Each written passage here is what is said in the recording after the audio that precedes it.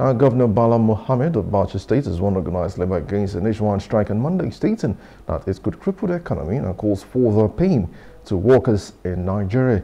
They visited governors of Abia, Edo, and Niger State to discuss the plan.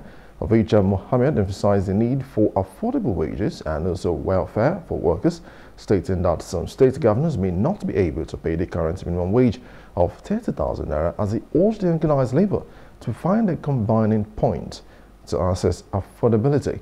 Now, the uh, Nigerian uh, government is also insist, has also insisted on paying 60,000 naira while the organized labor is demanding the sum of 494,000 naira as a new minimum wage. This strike is expected to continue until the strike is resolved. know, who had always been labor friendly, I have always looked forward to making sure that workers get the best in terms of welfare, in terms of salaries and wages. But it has to be affordable, something that is within the threshold of affordability by all the subnational and local governments. Definitely what the federal government even negotiated, some of the state governors will not be able to pay. Even at the moment, the current minimum wage of 30,000, some states are not able to pay.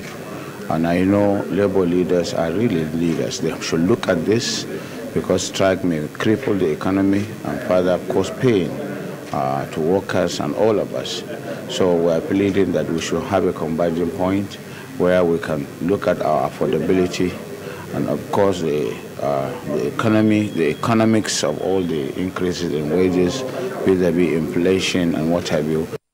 Hello. Hope you enjoyed the news. Please do subscribe to our YouTube channel and don't forget to hit the notification button so you get notified about fresh news updates.